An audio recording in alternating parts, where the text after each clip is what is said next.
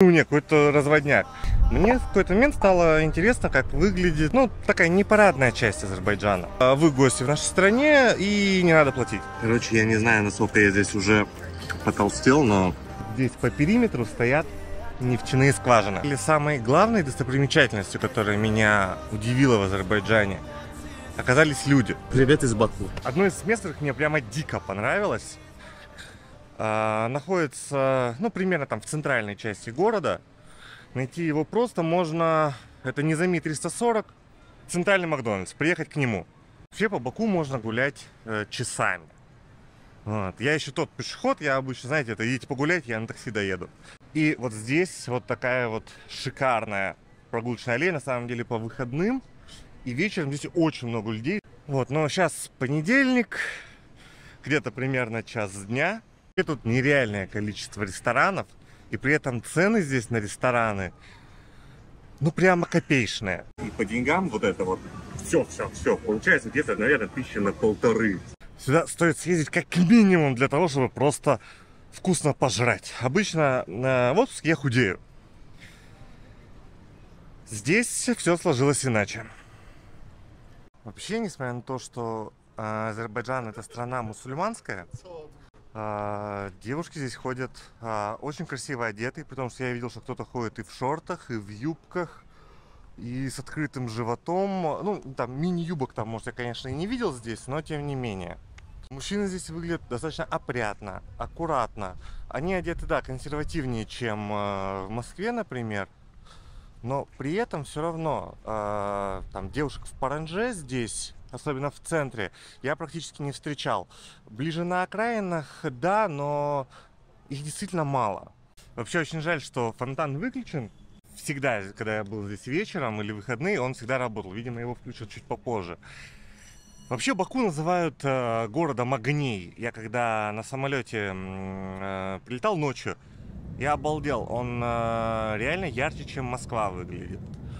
И помимо того, что Баку называют город город огней, его еще называют город ветров и город фонтанов. Вообще, чтобы вы понимали, раз фонтан, два фонтан, и вон там вот еще третий фонтан. И где-то вон там вот я проходил фонтан. Ну, здесь, понятно, прогулочная зона, но вообще тут прямо, правда, до хрена.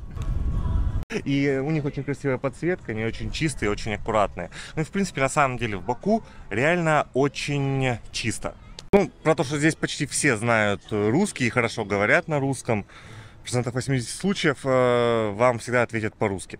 На самом деле, самой главной достопримечательностью, которая меня удивила в Азербайджане – оказались люди.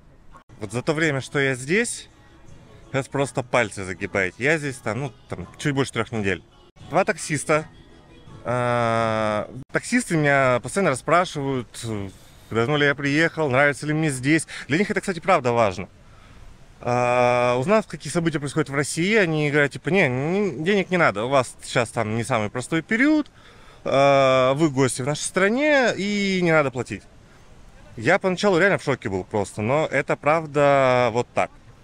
Один из таксистов, это был еще в первый день или два, позвал меня к себе домой на ужин. Он сказал, что жена приготовила какое-то очень вкусное национальное блюдо. Он говорит, типа, поехали ко мне. Я тогда напрягся, думаю, нет, какой-то разводняк. Я только потом понял, блин, надо было ехать реально. Я пришел не в тот банк, и мне объяснял полицейский, куда мне надо. И он видел, что я явно не догоняю, что здесь 2 ГИС очень коряво работает. Он меня подвез до другого банка. Э, в ресторане как-то мне не хватило монат. Ну, местная валюта монаты, у меня были доллары и монаты. Мне не хватало несколько монат, чтобы заплатить за счет. И официантка такая, ничего страшного, давайте я за вас заплачу. Вот эти вот там три монаты, три монаты, там 100 рублей вообще. И это, ну, как бы такие приличные деньги здесь на самом деле. Ну, средняя зарплата здесь типа 300, 400, 500 монат. И таких случаев здесь происходит постоянно. Поэтому вот самая главная ценность, что меня поражает, и то, чему, я считаю, всем нам надо учиться, это доброта. А, кстати, симку я брал вот у этого оператора. А, покупать симку у местного оператора это дешевле, чем роуминг, однозначно. А, в интернете у меня не очень хороший интернет, он не очень устойчивый. Он может работать хорошо, потом может работать медленно, потом может секунд на 10 пропасть. Поэтому я взял вот эту вот симку Azercell. Она мне обошлась... Я забыл. Из того, что я не дорассказал, фонтан заработал. Пожалуйста. Стоило отойти ненадолго. Здесь действительно хорошо относятся к русским. И это на самом деле очень ценно, потому что в мире таких мест становится все меньше. Поэтому в каждом своем ролике я стараюсь говорить о том, что приезжайте куда-то, видите себя по-человечески, по-доброму к людям. И вы увидите, люди к вам тоже потянутся. Здесь э, вообще все наоборот происходит. Здесь к вам люди тянутся и очень по-доброму. Вот, фонтаны. Значит, здесь фонтаны после обеда начинают работать. Ну а вечером с подсветкой они смотрятся вообще сильно просто. Вон этот тоже заработал, тот третий заработал. Ну, в общем, ой, чтоб я всегда так жил, начал работать после обеда. Вот вообще один из э, ресторанов, который мне очень нравится. Здесь э, недорогие кальяны. Ну и в принципе здесь, как я уже говорил, еда недорогая. У меня, по-моему, уже есть видео, я записывал из этого ресторана. Короче, я не знаю, насколько я здесь уже потолстел, но как минимум килограмма на 2, на 3 точно. Вот здесь все вкусно и дешево. I don't know, I don't know. Tell me have I lost my mind? Nowhere to go, so far from home. Is this what giving up feels like? А, и что в целом касается цен, а, допустим, цены на такси. Блин, какие азербайджанки красивые, вот честно. На них смотришь, они очень открыто улыбаются, они очень аккуратно одеты. Притом они говорят, это красиво, не вульгарно, а именно красиво. Про цены на такси. А, здесь в среднем поездка по городу стоит а, меньше двух манат. Ну, я сдачу обычно не забираю, здесь поездка может стоить там полтора маната. Дальняя поездка через город стоит там 4-5 манатов. Кстати, на такси здесь ездить, э, чтобы не прикреплять карту, ничего, есть приложение Bolt. Очень удобное, оно как наш Яндекс, и оно на русском языке. А, я выбрал отель отдаленный от центра города, э, пятизвездочный, э, с прекрасным балконом, видом на море, с прекрасной террасой, на которой можно ужинать ну, в ресторан с террасой. И мне все это... Уда... А, у меня видео есть. Короче, хочу устроить рум-тур номера в пятизвездочном отеле за 1100 рублей в сутки.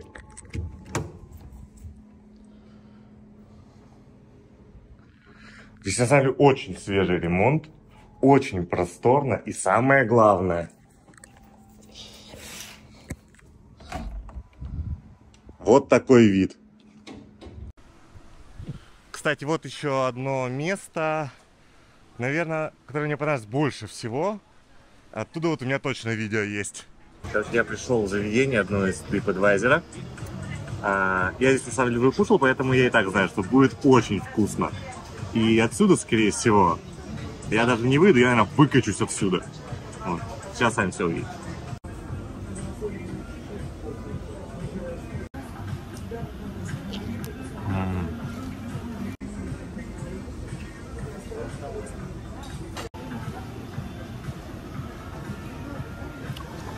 Короче, вот это вот все мне, и по деньгам вот это вот, все, все, все, получается где-то, наверное, тысячи на полторы. Вот, а вот настолько здесь э, приветливый народ. И это потрясающе.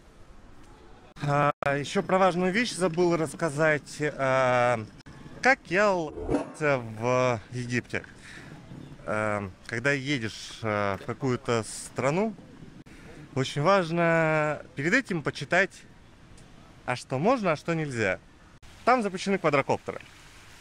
Все закончилось хорошо, из Египта в тюрьме я не сидел, я даже квадрокоптер оттуда вывез. А... В чем суть? В Азербайджане точно так же запрещены квадрокоптеры. Здесь есть ограничения по ввозу электронной техники, хотя они не очень строго соблюдаются, как я понял. И сразу один из самых популярных вопросов, можно ли здесь оформить банковскую карту. А, отвечу так. Очень сложно, но можно. Э, официально, если вы зайдете в банк, скажут, нет, э, мы иностранцам карты не открываем. Но открыть ее здесь можно, но для этого вам потребуется какой-нибудь знакомый в банке.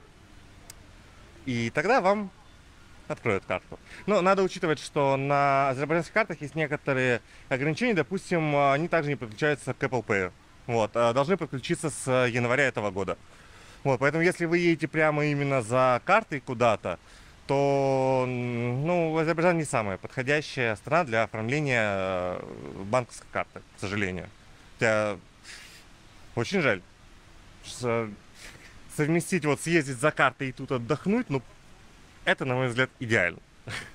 А, кстати, начал я рассказывать про Макдональдс и забыл про цены сказать. На Макдональдс цены здесь э, примерно такие же, как и в Москве. Ну, может, чуть-чуть подешевле, процентов там на 15, на 20. А, кстати, помимо того, что здесь а, работают все бренды типа Zara и прочие, хотя я тот еще модник, здесь даже есть а, Hard Rock кафе. Я, правда, я заходил сюда, но... Возможно, у меня просто нет вкуса, но я как-то к нему очень равнодушно отношусь, тем более, что в Hard Rock кафе нет вкусного пива, местного пива. А, про пиво я, наверное, пойду ужинать и расскажу подробнее про какое здесь пиво. Ну, короче, как вы поняли про рестораны, я могу говорить просто бесконечно. Уже здесь... Это здесь везде вкусно. А, есть одно место, в которое я еще не зашел, но как раз сейчас зайду вместе с вами. Все, я дошел, и вот это место. Короче, в чем э, прикол-то ведь не только в названии, да? А... Там даже такой же коричневый диванчик находится. Так, вообще по местным меркам кофе здесь достаточно дорогой, но здесь почти 7 манат. А, это 230 что ли рублей, 240. Вот, ну понятно за что, за атмосферу сидишь в Централ Парк, и я жду свой капучино. А, меня расспросили так с улыбкой, позитивно, что там, блогеры, а, без всяких вопросов там, где съемка запрещена, там, а, расспросили там, сколько подписчиков, для кого снимают, сняли меня тоже. Ну. Нет, ну кофе огромный. И он реально вкусный. Очень. Так, ну от кафе Friends эм, буквально три минуты и мы доходим до набережной. Кстати, здесь вот такие вот кайфовые шахматы. Местные рубятся, всегда много зрителей. И вот во всех центральных частях города э, очень много полицейских, но э, что меня порадовало, так, наверное, правильно сказать. У них реально очень добрые лица. Ну, я уже рассказывал, что меня просто на машине подвез э, полицейский. И для него это видно было, что это ну, дело нормы. Э, и здесь, когда проходишь мимо полицейских, э, они доброжелательные. Наверное, это о чем-то говорит. Вот сама набережная, местный променад. И он очень ухоженный, он очень широкий. Тут даже вот такой вот парк кактусов есть. А, набережная очень красивая, но здесь не купаются. О, о сколько тут рыбы. И, видите, а, не знаю, видите или нет, маслянистые разводы. Это вот такая вот небольшая ложка дегтя. Везде, вот здесь по периметру стоят нефтяные скважины. А основной доход Азербайджана, насколько я знаю, это именно добыча нефти. И местные, ну, в центре вообще не купаются, и вот тут вот есть еще пляж, буквально минутах в 20 на такси.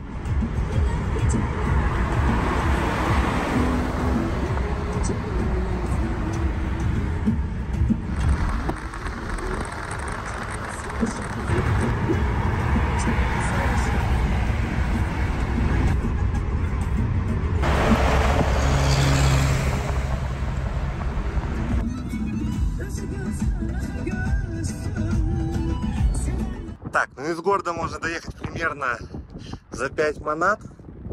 И пляж здесь достаточно специфический. Вообще сами местные здесь э, купаются редко, потому что здесь в зависимости от прилива, отлива и ветров э, часто бывают раз, ну, такие маслянистые разводы от добычи нефти.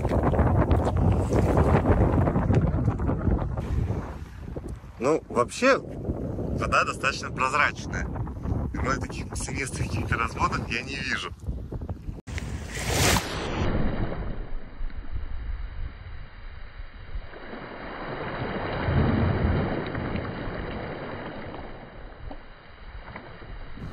Но опять же, это все здесь зависит от прилива, отлива, ветров и так далее. Вообще вода чистая. Это пляж эм, рядом с поселком Шихово. Ну, ехать буквально ну, минут 15, наверное, от Баку.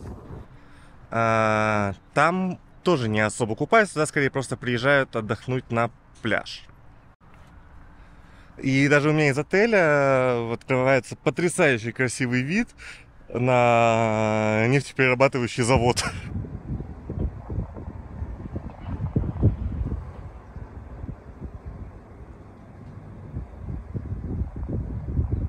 Ну, я, в принципе, очень люблю такие индустриальные пейзажи, поэтому мне вообще нормально. Кстати, ну вот, собственно, что далеко ходить. На набережной один из таких главных экспонатов, насколько я понимаю, такой своеобразный памятник добычи нефти. И даже вот э, главная улица, вот там вот, которая идет вдоль променада, она, по-моему, называется проспект нефтяников. Так, ну, несмотря на то, что нефтегазовые доходы достаточно большие, зарплаты в Азербайджане не очень большие. А, потому что цены на недвижимость здесь достаточно высокие. И местные говорят, что ну, купить сейчас недвижимость им ну, практически нереально. Кстати, вот отсюда открывается прекрасный вид на набережную. Так, ну, собственно, вот я дошел до конца причала. И вуаля!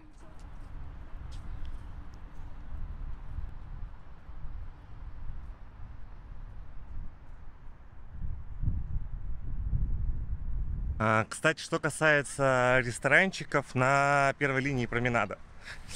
В них цены уже доходят, э, ну, до таких средних московских цен. Ну, оно и понятно. А, посидеть вот там вот наверху, поесть шашлычок из баранины, выпить пиво или вина гранатового. Здесь, кстати, очень вкусное гранатовое вино. Я здесь покушал на двоих. Обошлось это около 60-65 манат. Но поскольку центральная часть и набережная, и в принципе не только центральная часть, даже туда подальше в город заехать, э, здесь красиво. Мне в какой-то момент стало интересно, как выглядит, ну, такая непарадная часть Азербайджана. Я просто на такси уехал в соседний город.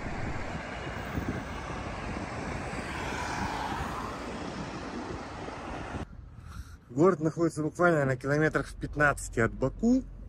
А я приехал на главную площадь. Фонари тут прям пушка.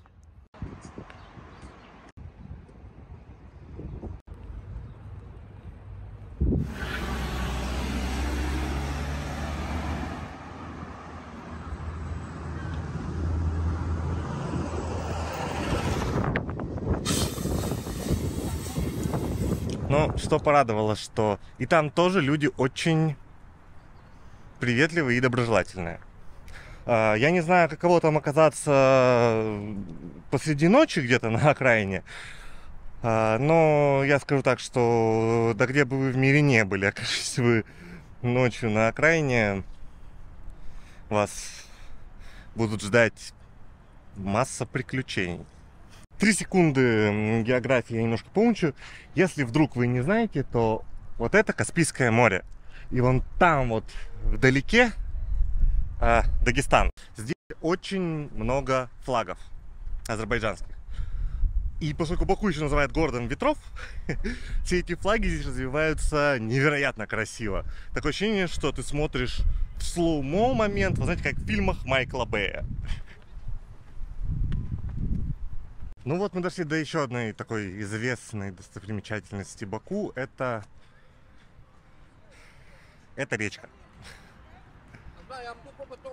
А, тут можно на лодочке вместе с красивой девушкой плавать под мостиками. А, не помню, сколько это стоит, но сейчас узнаю, расскажу. Но на самом деле это одна из известных а, курортных фишек города. Вот. И я видел, как здесь вечером плавают, реально здесь с подсветкой, очень красиво. Стоит это 3 маната, то есть, ну, где-то там 100 рублей за одного человека. Это, ну, грубо говоря, дают покататься там 5-6 минут. Ну, я думаю, это, этого достаточно. Ну, называется это место как-то, типа, маленькая Венеция, что-то такое. Кстати, в Баку находится, по-моему, самый большой в мире музей ковра. Вот он. И на самом деле здесь куча магазинов, которые продают вот эти вот классические ковры, которые у всех у нас э, висели э, на стенках у бабушек и дедушек. А, поскольку сейчас э, путешествовать довольно непросто стало, и в том числе вопрос финансовый. Э, как э, тратить деньги? Ну, про карту МИР, что она по одному месту полетела с разбега по губам так. Эм, есть способ. Денежные переводы сюда это куда более выгодно, чем покупать по бешеному курсу доллара в России. Можно переводить, ну на данный момент еще можно переводить. Золотая корона и контакт. Контакт вроде повыгоднее, но там он более проблематичный, по-моему. Я перевел через золотую корону, и это, в общем, там на 2-3 рубля дороже, чем биржевой курс э, рубля к доллару получается. Вот, можно переводить и прямо снимать здесь э, в банк. Банки здесь работают до 5 часов вечера. После этого деньги вы уже здесь не поменяете. Вы, ну, чисто в теории вы можете их поменять здесь в некоторых банкоматах. Но я вам скажу, я один раз так делал, и не самая это простая задача, поэтому лучше менять в прок заранее. А, здесь торговый центр, Нью-Йоркер. А, какие там еще бренды бывают, я честно не очень. А, кстати, футболку покупал, по-моему, именно вот здесь. Мне обошлась футболка 600 рублей. Я их купил две. Вот. И здесь э, как раз сразу несколько кафешек с потрясающим видом, но ценник здесь уже такой, ну, ну как такой, типа средний московский, но зато с видом на Каспийское море.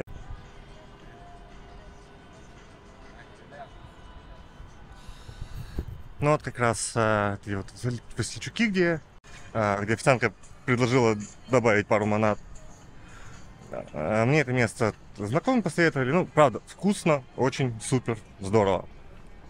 Вот, ну и тут дальше продолжается линия променада вокруг торгового центра.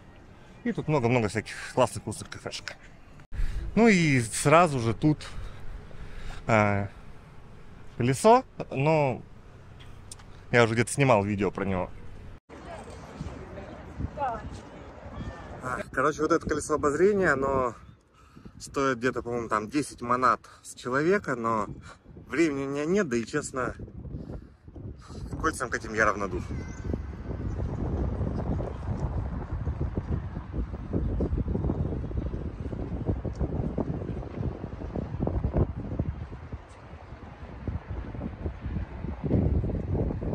Так, ну и следующая достопримечательность, до которой я догулялся, это фуникулер.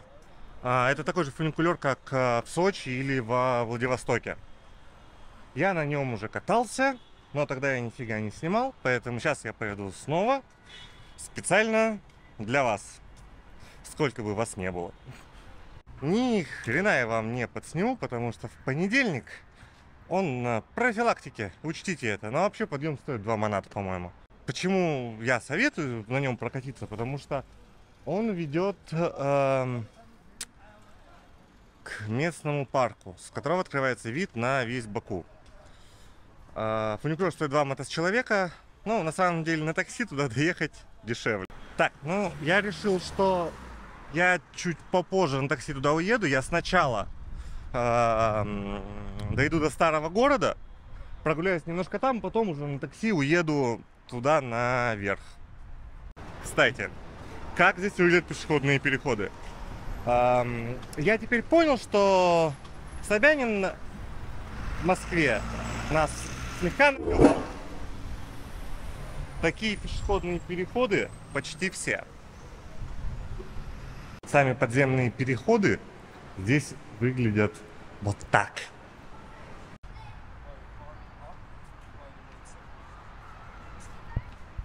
Так, вот одни из ворот в старый город.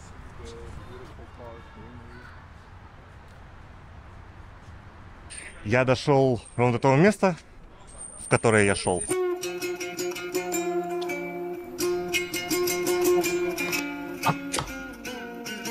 Черт побери!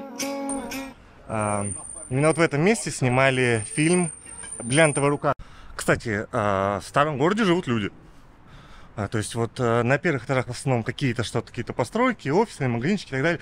А на вторых этажах прямо видно, что живут люди. Что здесь где-то там постельное белье сушится, нет, тут гостиницы. Ну, такие очень красивые улочки. Вон, ну, вон видно, что вот места такие жилые.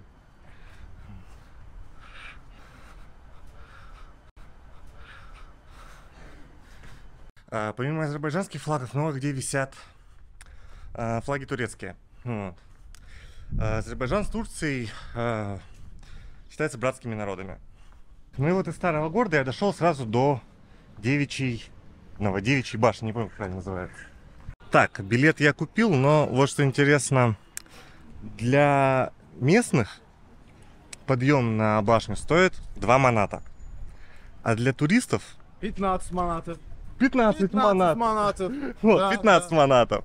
Привет. Вот. С кем? А, это YouTube канал мой. Там, у меня там 24 подписчика, по-моему. Вот. Очень. Привет из Баку. Кстати, насчет ам, сигарет в а, Азербайджане. Здесь можно курить везде. Везде. Везде. В А, подвале, в ресторанах, везде. можно курить в А не как такси. в России, да, такси. Откроешь окна, все, да. Все, что хочешь, кури. На бис можно курить. О. Вот, ну, в общем, о чем я и говорил. Люди здесь потрясающие. А, Спасибо за это короткое интервью. Спасибо вам. Саша, Ульви, очень приятно. рад познакомиться. Я тоже. Спасибо. Отдыхайте. В общем, о чем я и говорил, люди здесь очень доброжелательные и очень открытые. Там? А, Кстати, что я хотел рассказать. Меня тут встретили возле входа и типа вам эта экскурсия не нужна, может вам там квартира нужна. А здесь снять квартиру, как мы привыкли к этому, нельзя. Здесь а, в каждом районе сидят свои типа маклеры, которые водят тебя по квартирам в этом районе и показывают, а, какие есть варианты. Ну, естественно, мошенники тоже встречаются, поэтому, если будете снимать квартиру, будьте аккуратнее. Так, я вижу свет. Что если заказать спортсмен из меня говно.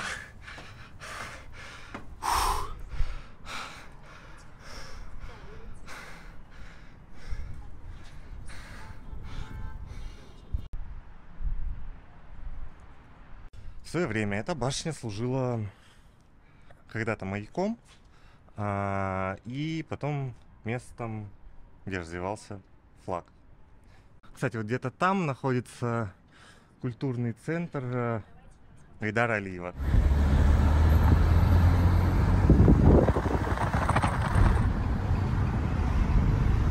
Это культурный центр Гайдара Алиева, и выглядит он ну прямо туристически максимально.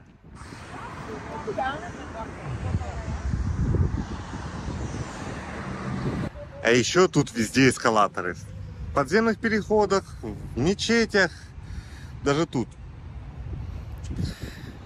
Я здесь набрал, наверное, килограмма 3-4 за эти дни. И останавливаться не собираюсь. Я вам, знаете, что скажу? Что культурный центр в Азербайджане, в Баку, выглядит круче, чем научный центр Сколково. Вообще вот по этой вот штуковине, по идее, можно, мне кажется, на самую крышу упидорить.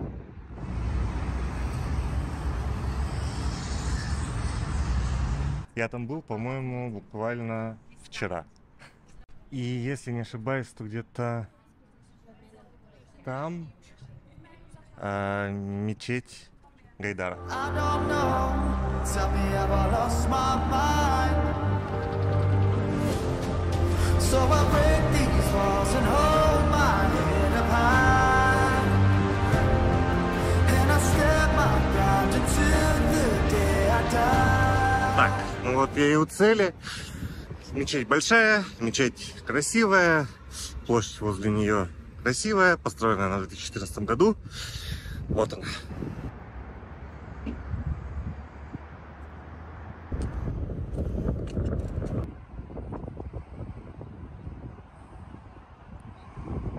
Ну, а я решил, что, наверное, пора а, заказывать такси и ехать на этот, на верхнюю точку фуникулера в парк. Hello?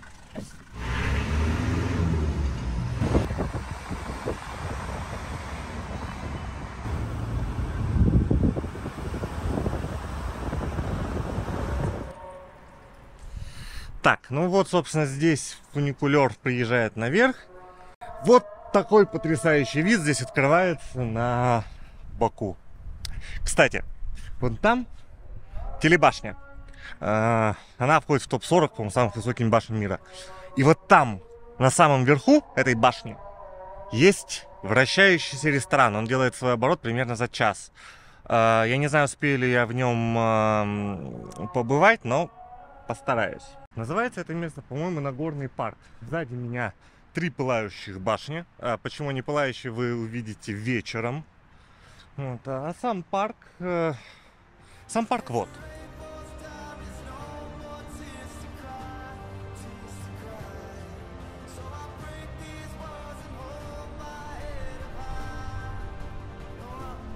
Так, вообще вон там а, тоже фонтан и такая стена воды, но она почему-то сейчас не работает. Вот и дошел здесь вечный огонь Баку. На самом деле, еще минуту назад здесь не было ни одного человека.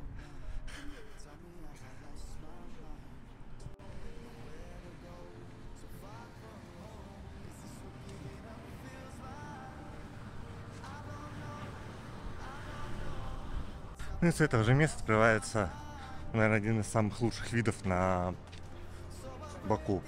Хотя, мне кажется, что самый лучший вид с набережной на город.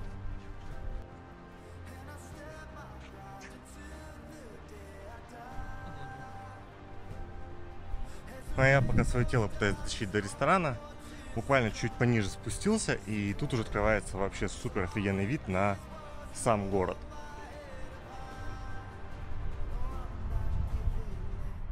Так, ну я снова вернулся к своему любимому месту. Это э, парк с ресторанами. Кстати, вот опять же Макдональдс незаметный 340.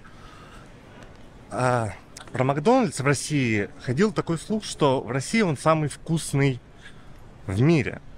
А, я честно был уверен, что это правда. И я ел здесь.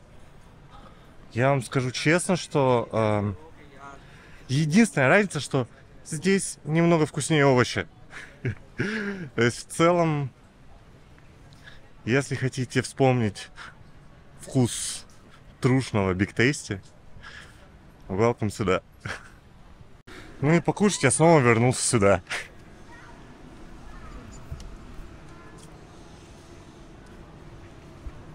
Так, у меня есть- любимый столик.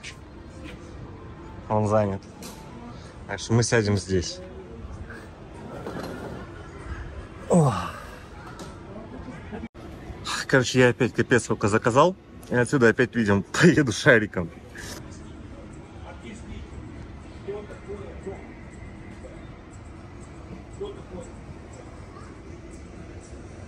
Перекус начинающего блогера чек.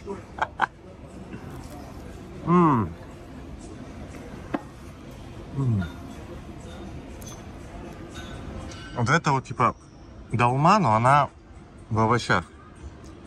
Просто баклажанчики, и вот это очень вкусная лепешка. А, вообще, в Азербайджане два очень вкусных пива местных есть. Это Хардалан и НЗС. А, поэтому для любителей пива welcome. Мы на месте. Город огней, ночной Баку. Вон там, кстати, как раз вот эти вот три пылающих башни. Так, ну вот такая вот у них идет подсветка, это раз.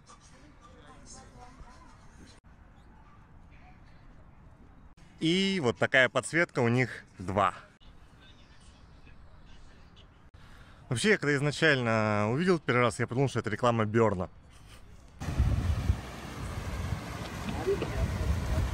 Ну а домой я еду на эконом такси Мерседес за 140 рублей.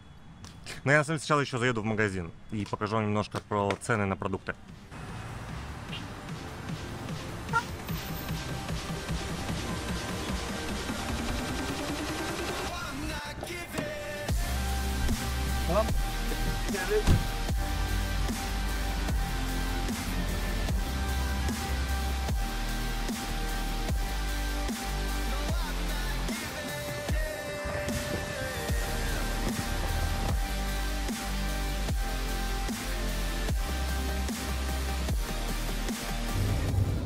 Продукты здесь, вот, огурцы по 50 рублей.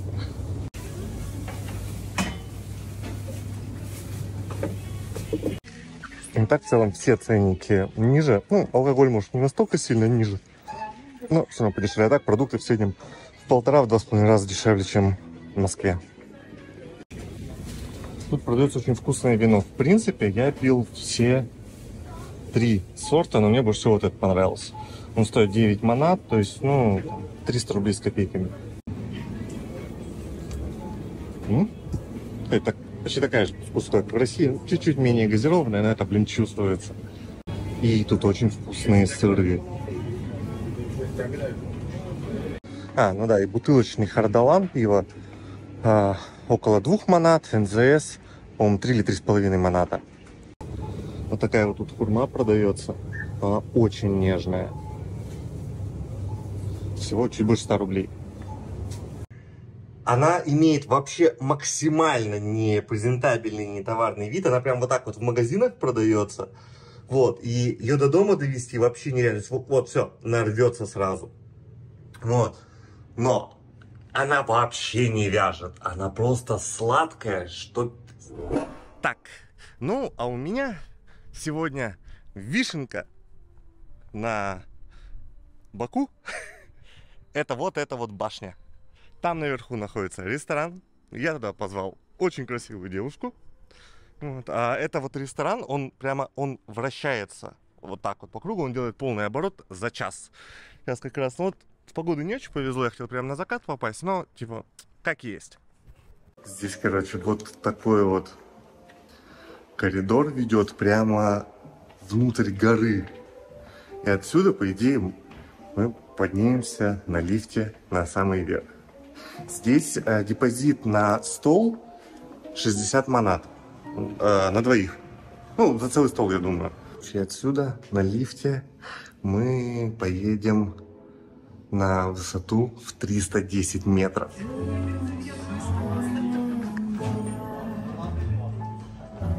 Короче, чтобы вы понимали, вот, движется. Самое крутое, что мы двигаемся даже относительно вот там вот барная стойка.